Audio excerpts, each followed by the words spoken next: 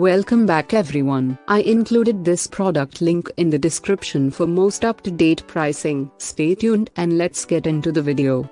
Porlex Mini. What is the best travel grinder for a coffee lover? Porlex Mini must be on your radar. This small hand grinder is made in Osaka, Japan. How small is it? It's small enough to fit in your AeroPress perfect match. It's only 47mm diameters and 130mm tall. It's super portable for taking it with you when going hiking, camping, or traveling. It comes with the ceramic conical burr, with a wide range of fineness options, it can easily handle fine or coarse grind to ensure the coffee quality in your cup. It has almost 1000 ratings globally on Amazon with 4 6 out of 5 stars. The quality is proven by the customer. The body is stainless steel and static free, with a rubber band that comes with a place for you to store your removable crank handle. Without disassembling the parts like the other,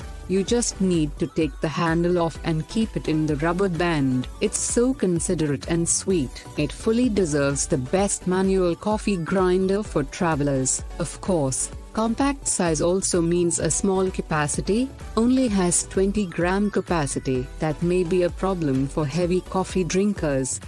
I included this product link in the description. You can check out this link for more information and latest price. Thank you for watching this video. Make sure to subscribe, so you don't miss out on my future videos.